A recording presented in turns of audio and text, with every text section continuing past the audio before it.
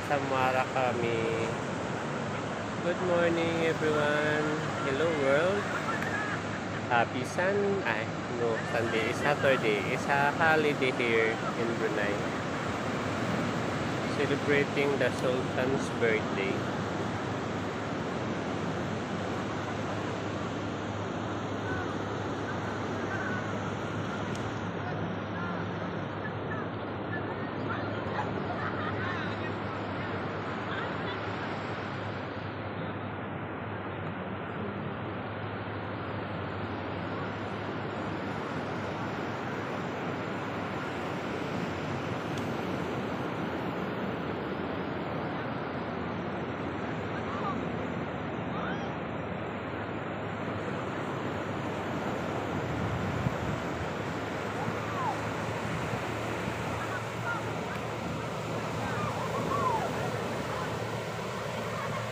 Lalaki ng alon.